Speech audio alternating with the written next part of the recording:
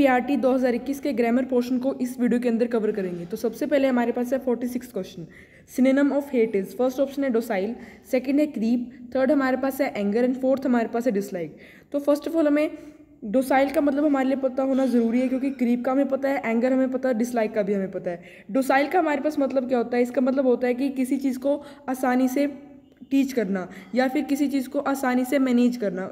Docile का मतलब तो ये होता है। अब इन तीनों के अंदर से अगर हम एलिमिनेशन लगा के देखें तो जो हमारे पास फोर्थ ऑप्शन है, जो कि है डिसलाइक वो हेट का करेक्ट सिनेनम है। सिनेनम का मतलब मिलता जुलता शब्द। तो यहाँ पे हेट का जो मिलता जुलता शब्द है, वो हमारे पास है फोर्थ ऑप्शन जो कि है डिसलाइक सेकेंड हमारे पास है fill in the blanks with the correct preposition the boy fell dash the वो well dash ten o'clock अब यहाँ पे अगर हम ध्यान से देखें the boy fell in the well अब वो दस बजे के आसपास वेल के अंदर गिरा।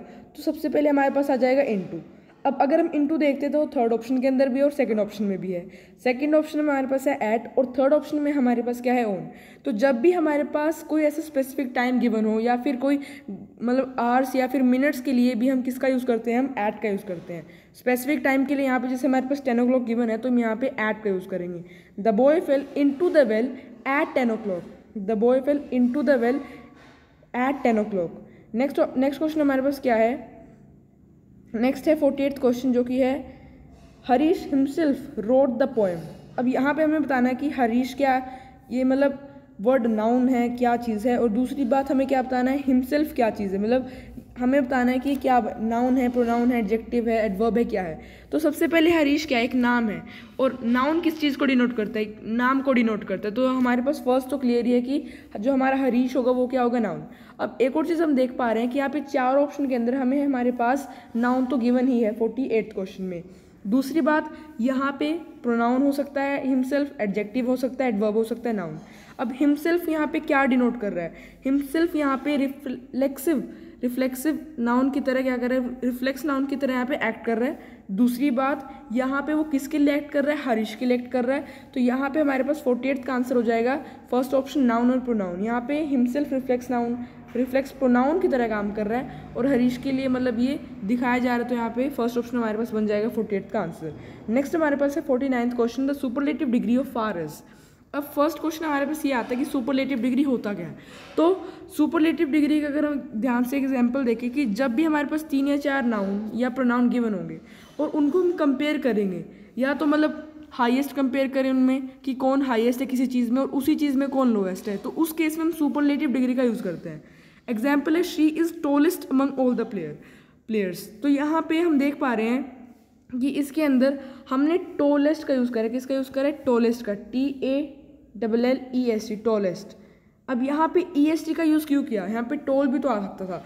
इसलिए किया क्योंकि उसको जब कंपेयर किया बहुत सारे लोगों के अंदर तो हमें पता चला कि वो सबसे लंबी है। तो यहाँ पे ई एस टी का यूज़ किया जो कि सुपरलेटिव डिग्री को दिखा रहा है। तो ये होता है सब फ़र्स्ट ऑफ़ ऑल हमारा सुपरलेटिव डिग्री अब चार ऑप्शन के अंदर से जो हमारा फ़र्स्ट सेकेंड ऑप्शन है फारदेस्ट फारदेस्ट हमारे पास राइट ऑप्शन बनेगा सुपरलेटिव डिग्री ऑफ़ फार के लिए। नेक्स्ट हमारे पास है फिफ्थ क्वेश्चन फिफ्थ क्वेश्चन क्या है?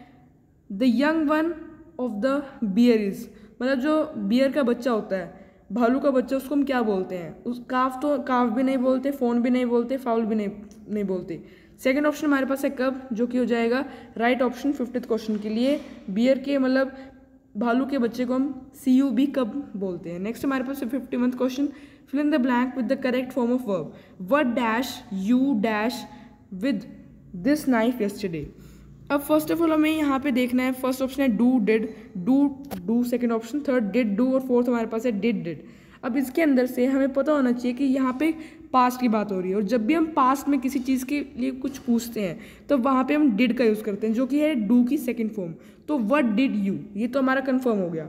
अब what did you dash what did you do अब what did you did did तो हमारे पास कैंसिल हो जाएगा. अब फ़र्स्ट अगर हमने हमें जो हमने पहले भी देखा कि डिड आएगा सबसे फ़र्स्ट फ़र्स्ट ऑफ़ ऑल जब भी हम पास में कोई चीज़ पूछ रहे हैं तो डू और डू तो फ़र्स्ट और सेकेंड ऑप्शन तो हमारे पास बिल्कुल ही कैंसिल हो गया। तो बचा हमारे पास क्या? थर्ड ऑप्शन डिड डू और वो हमारे पास करेक्ट की जो सेंटेंस फॉर्मेशन है, वो भी दे रहा है। तो what did what did you do with this knife yesterday next है fifty two question the milk has turn sour अब यहाँ पे हमें क्या पूछा गया है कि हमें ये बताना है कि जो अंडरलाइन वर्ड है, जो कि सर ये क्या डिनोट कर रही है? नाउन है, ये प्रोनाउन है, ये एडजेक्टिव है, क्या है? अब यहाँ पे जो सोर वर्ड है मतलब खट्टा, ये मिल्क की स्टेट के बारे में बता रहा है कि मिल्क कैसा है? अगर यहाँ पे स्वीट होता तो मतलब मिल्क मीठा था। अब यहाँ पे सोर है तो मतलब खट्टा या फिर कड़वा आप कह सकते हैं। तो यहाँ पे ये एडजेक्टिव की तरह काम कर रहा है। किसकी तरह? एडजेक्टिव की तरह काम कर रहा है। नेक्स्ट हमारे पास है fifty three question fifty three question हमारे पास क्या है? एंटेनम ऑफ़ कूल इज़ इस केस में मेरे मतलब हिसाब से यहाँ पे अगर हम एक बार कूल देखें कूल का मतलब क्या है, रिलेटिवली आपका जो टेम्परेचर है, वो क्या है, कम है। दूसरी जगह हमारे पास फ़र्स्ट कैंसिल हो गया, सेकंड कैंसिल हो गया अब तो बचता है थर्ड और फोर्थ, इसमें काफ़ी कन्फ्यूज़न रहती है। तो यहाँ पे अगर हम होट का मतलब देखें तो होट का मतलब होता है कि रिलेटिवली आपका जो टेम्परेचर है, वो हाई भी हो सकता है। और फोर्थ हमारे पास है वॉर्मर कूल, जिसे हमारे पास कोल्ड और हॉट होता है, उसी तरह से हम कूल और वोम भी कह सकते हैं। तो इसका आंसर आपको कमेंट बॉक्स में नीचे लिखना है कि आपके हिसाब से इसका आंसर क्या बनना चाहिए। नेक्स्ट हमारे पास है fifty fourth question choose the correct spelling of the given word अब जो हमारे पास बंगलो है, उसकी करेक्ट स्पेलिंग यहाँ पे क्या होती है? हमारे पास क्वेश्चन है। तो फिफ्टी फोर्थ का आंसर हमारे पास होगा फोर्थ फिफ्टी फोर्थ का जो आंसर है हमारे पास फोर्थ होगा, जो कि है B U N B U N G A L O W ये हमारे पास होती है करेक्ट स्पेलिंग जो कि है बंगलो की। नेक्स्ट हमारे पास fifty fifth question choose the part of the sentence that is incorrect Keats is a quite good poet among the romantic poets A B C D हमें चार पार्ट्स गिवन है।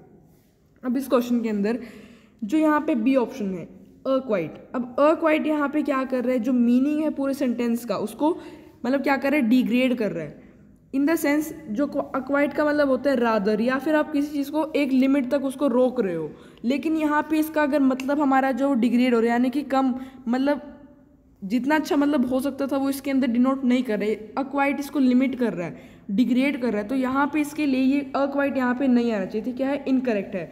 Sentence हमारे पास क्या बनता है? Keats is Keats is good poet among the romantic poets मतलब a quite यहाँ पे इनकरेक्ट है तो हमारे पास सेकेंड ऑप्शन बन जाएगा बी ऑप्शन नेक्स्ट हमारे पास है fifty six choose the correct option to fill in the blank Amartya Sen Gupta is dash N R I अब जो क्वेश्चन है काफ़ी इंपॉर्टेंट है, क्योंकि इसमें मोस्ट ऑफ़ द स्टूडेंट्स क्या करेंगे? फोर्थ ऑप्शन की अमर्त्य से, Sen Gupta is N R I ये भी सही लगा लेकिन अगर आप इसको ध्यान से देखो फ़र्स्ट ऑफ़ ऑल हम देखेंगे कि वो जो होते हैं ए ई आई ओ यू उनके अंदर से हमारे पास एन कहीं भी नहीं आ रहा है। पहली चीज़ तो ये अब दूसरी, अगर आप इसको ऊपर ध्यान से देखो तो एन आर आई एन के अंदर एन जो है वो किससे स्टार्ट हो रहा है? ई e एन से। और ई e क्या है? एक वोवल साउंड है। तो मतलब ये वोवल साउंड से स्टार्ट हो रहा है। तो यहाँ पे हमारे पास बनेगा सेकेंड ऑप्शन जो कि एन ये काफ़ी इंपॉर्टेंट क्वेश्चन था, एक इंटरेस्टिंग क्वेश्चन था, और इसमें काफ़ी गलती होने के चांसेस है। नेक्स्ट हमारे पास है fifty seventh question she sang a sweet song ये हमारे पास सेम क्वेश्चन है कि यहाँ पे स्वीट क्या डिनोट कर रहा है? ये एडवर्ब है नाउन है प्रोनाउन एडजेक्टिव सेम यहाँ पे वो बता रहा है कि वो सॉन्ग कितना अच्छा था।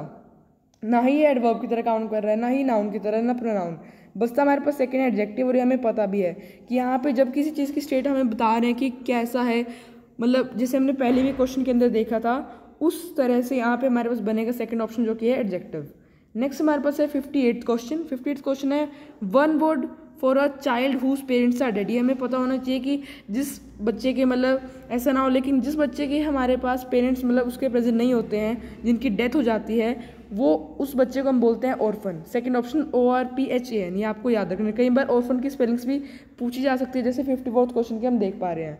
नेक्स्ट हमारे पास है fifty ninth question choose a grammatically correct sentence John has been living in Egypt for nineteen from for nineteen forty two ये तो गलत हो जाएगा यहाँ पे सिंस आना था फ़र्स्ट ऑफ़ ऑल सेकेंड है John had live in Egypt for nineteen forty two since आना ज़रूरी है कि वो तब से रह रहा है, रह. तो यहाँ पे हमारे पास बन जाएगा सेकेंड ऑप्शन गलत. थर्ड हमारे पास है John has been living in Egypt since 1942 ये हमें सही लग रहा है. फोर्थ हमारे पास क्या है? John have lived in Egypt since 1942 यहाँ पे हैव लिव्ड नहीं आएगा.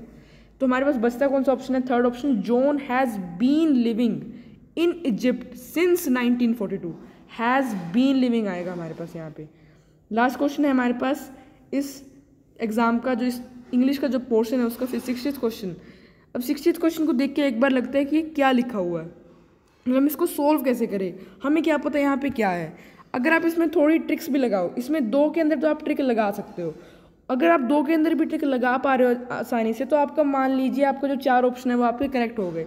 मीन्स अगर आप इस वाले, इस टाइप के केस में जिसमें मैच द फॉलोइंग हो ए बी सी डी और फ़र्स्ट सेकंड थर्ड ऑप्शन दे रखे हो, अगर आप इसमें दो भी आराम से ढूंढ लोगे तो आपका काम बन जाएगा। नेक्स्ट हमारे पास यहाँ पे क्या है? अब इसको देखते हैं। तो यहाँ पे सबसे फ़र्स्ट हमारे पास है एस अब यहाँ पे किसके साथ मैच कर रहा है?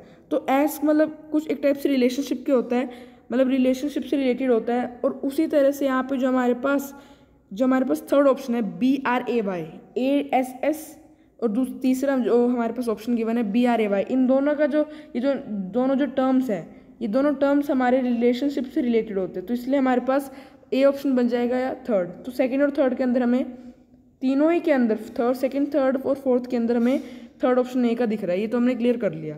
नेक्स्ट हमारे पास है बी ऑप्शन डक अभी आप ढूंढ सकते हो। डक जो है वो कौन सा साउंड क्रिएट करती है?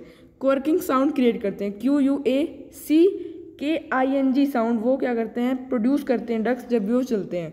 तो हमारे पास बी का आंसर क्या बन गया फ़र्स्ट अब बी का आंसर भी हमारे पास दो के अंदर सेम आ गया। मतलब फ़र्स्ट और सेकंड फोर्थ तो हमारे पास कट हो गया बचते हमारे पास सिर्फ़ दो और तीन। अब हमें सिर्फ़ एक और ढूंढना है।